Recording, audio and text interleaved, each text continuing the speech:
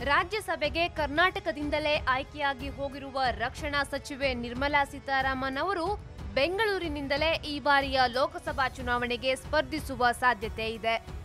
ಚುನಾವಣಾ ರಹಿತವಾಗಿ ರಾಜ್ಯಸಭೆಗೆ ಆಯ್ಕೆಯಾಗಿ ಕೇಂದ್ರ ಮಂತ್ರಿಯಾಗಿರುವ ರಕ್ಷಣಾ ಮಂತ್ರಿ ನಿರ್ಮಲಾ ಸೀತಾರಾಮನ್ ಅವರನ್ನ ಚುನಾವಣಾ ಕಣಕ್ಕೆ ಇಳಿಸಲು ಬಿಜೆಪಿ ಯೋಜನೆ ರೂಪಿಸಿದ್ದು, ಅವರನ್ನ ಬೆಂಗಳೂರಿನಿಂದಲೇ ಕಣಕ್ಕಿಳಿಸುವ ಸಾಧ್ಯತೆ ಇದೆ. ಕರ್ನಾಟಕದಿಂದಲೇ ಅವರು ರಾಜ್ಯಸಭೆಗೆ ಆಯ್ಕೆಯಾಗಿದ್ದರು. ಹಾಗಾಗಿ ಕರ್ನಾಟಕದಿಂದಲೇ ಚುನಾವಣೆಗೆ ಸ್ಪರ್ಧಿಸುವ ಅವಕಾಶ ನೀಡುವುದು ಬಿಜೆಪಿ ತಂತ್ರ.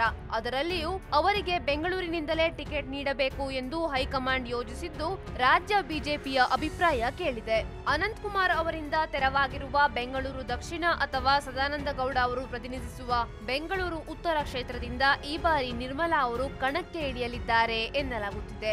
ಸದಾನಂದ ಗೌಡ ಅವರಿಗೆ ಕರಾವಳಿ ಭಾಗದಲ್ಲಿ ಟಿಕೆಟ್ ನೀಡುವ ಸಾಧ್ಯತೆ ದಟ್ಟವಾಗಿದೆ. ನಿರ್ಮಲಾ ಅವರನ್ನ ಕೇರಳದ ತಿರುವನಂತಪುರಂ ಕ್ಷೇತ್ರದಲ್ಲಿ ಕಾಂಗ್ರೆಸ್ನ ಶಶಿ ತರೂರ್ ಎದುರಾಳಿಯಾಗಿ ಕಣಕ್ಕಿಳಿಸುವ ಮೊದಲಿಗೆ ರಣತಂತ್ರವನ್ನ ರೂಪಿಸಲಾಗಿತ್ತು.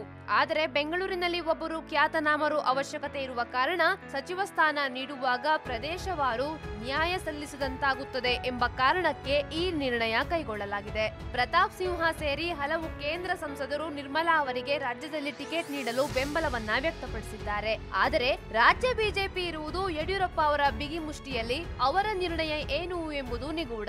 ಅವರಿಗೆ ಹೊರಗಿನವರು ರಾಜ್ಯದಲ್ಲಿ ಸ್ಪರ್ಧಿಸುವುದು ಇಷ್ಟವಿಲ್ಲ ಎನ್ನಲಾಗಿದೆ.